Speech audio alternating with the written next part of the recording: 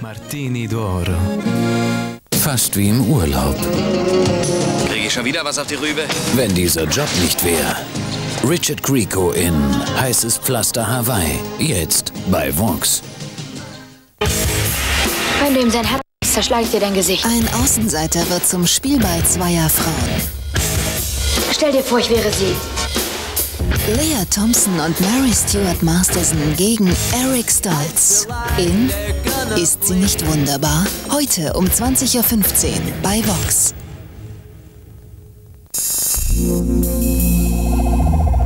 Vox. Die Zukunft ist nicht mehr, was sie war, Mr. Angel. Eine alte, offene Rechnung. Ein Pakt mit dem Teufel. Ja. Gefangen im Labyrinth der schwarzen Magie.